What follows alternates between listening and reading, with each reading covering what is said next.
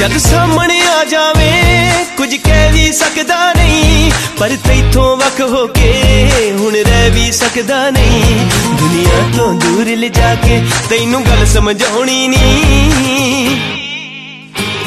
ਤੇਰੇ ਦਰਸ਼ਨ ਬੜੇ ਜ਼ਰੂਰੀ ਨਹੀਂ ਤੇ ਫਿਰ ਨੀਂਦ